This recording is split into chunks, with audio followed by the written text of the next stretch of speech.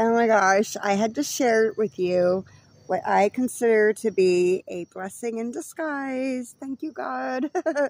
because I had to order a new vacuum cleaner last night and I literally um, fixed it like two or three times and now I had to order a new one. And I really didn't want to spend my money on a vacuum cleaner. So I broke down and I um, was looking last night and I saw one.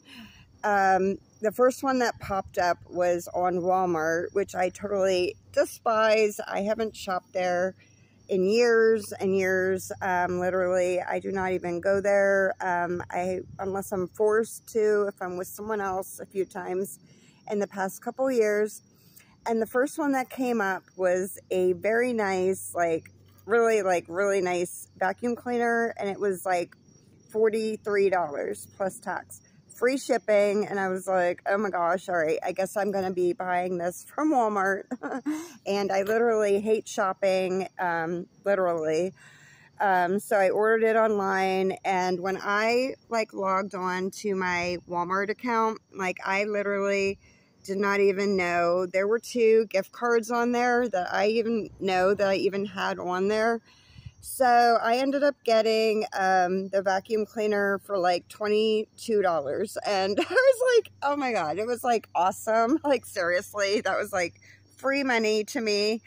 And um, I just had to share that is what I consider a blessing from God, like literally. And um, so I wouldn't have, it was the first one that popped up. And then if I wouldn't have like talked myself into buying it from Walmart, even though I despise that store, um, I wouldn't have gotten that great deal. And then I wanted to tell you about um, just some funny little follies in my little neighborhood.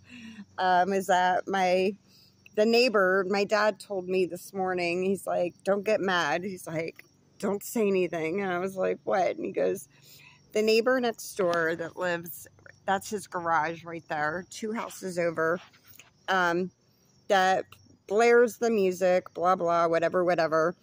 And um, I, like, sometimes will sleep in my backyard in my bikini top and a pair of shorts on the grass. And I have a fence over here. And then, like, the neighbor over there is never outside except for his dog and whatever. Well, my dad told me the 60 some year old man stands up there and he caught him twice watching me sleep. And I'm like, oh my God. I'm like, I don't really care, dad. Like, seriously, if some 60 some year old man is going to act like he's never saw a woman before and make a spectacle of himself, blah, blah, whatever, whatever. The funny part is, is that um, a couple years ago or a few years ago, whatever, he burns trash in his backyard too, which is kind of gross. Like in town, like it burn it the blows into people's houses if you have the windows open. And my dad just like kindly asked him if he could not like do it anymore because it blows like right into our kitchen window. Well, this guy literally called the cops on my dad the next day. The police were at my dad's house and he was accusing my dad of being a deviant pedophile.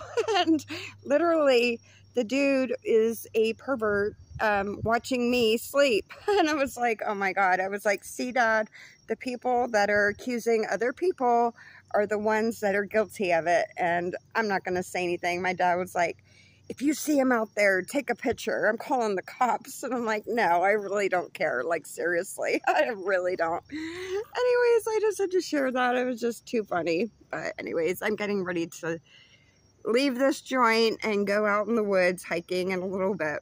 Anyways, love you.